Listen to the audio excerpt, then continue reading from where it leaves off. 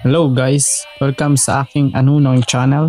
Ngayon dumating na yung in-order ko sa Lazada na 3.5 inches na LCD. Okay, buksan na natin tong kahon na to.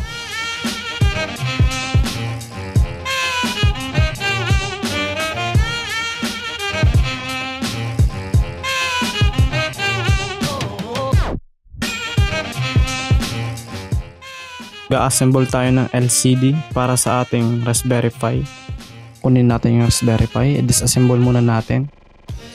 Tanggalin natin yung first layer nito na sa ibabaw, pati yung fan. Try natin ikabit yung LCD. Mukhang fit naman, walang problema.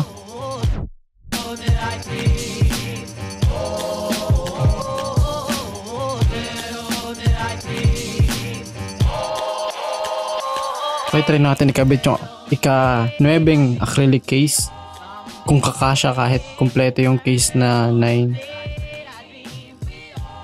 try natin kung okay o mukhang hindi.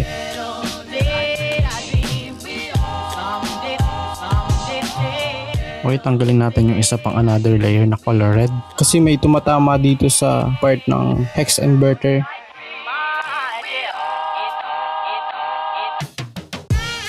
kabit natin to. Bali 7 layer case lang yung kalagay try natin kung walang problema kung pantay pa rin yung magiging kalalabasan nito. Oh medyo medyo maluwag. Ngayon ibalik na natin yung color red ng acrylic case. Okay dahil tumatama dito sa isang hex inverter naisipan kong guhitan at bawasan itong areang ito. Guhitan natin ulit para medyo walang sabit walang sobra. Sakto lang ngayon sukatin natin dito sa another side, sa left side. Guhitin natin para saktong-sakto yung babawasan. Okay, tanggalin muna natin yung acrylic case na red. Guhitan pa natin ulit. Nabawasan ko na. Ginamitan ko ng mainit na kutsilyo. Pakatapos, ginamitan ko ng pangpantay sa kuko. Mukhang ayos naman yung paka tirada. Mukhang okay naman yung pakabawas ko. Ngayon, try natin kung wala nang problema dito sa side na to. Okay na. Wala naman tumatamang hex inverter. Ngayon, kabitan natin yung ka-8 layer ng acrylic case.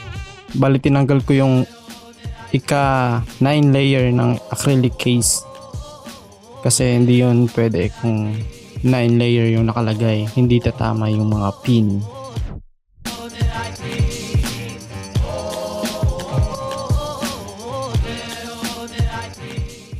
Ngayon, nakakabit ko ng LCD.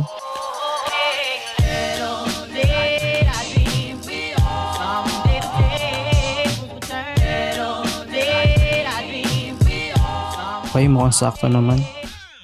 Fit na fit. Hindi na siya tagilid gaya ng kanina.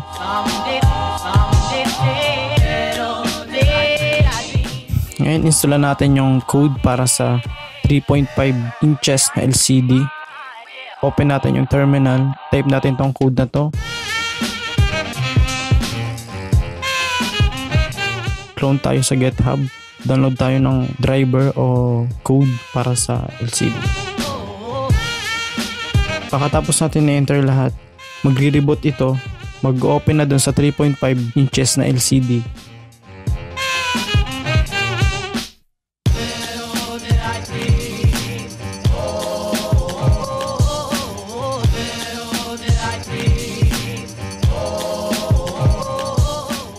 Okay, ayun na, nag-reboot na. Ito na yung ano, 3.5 inches na LCD.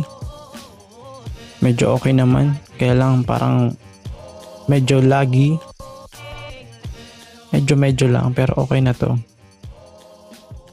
Portable na siya. Try natin i-full screen tong terminal. X natin.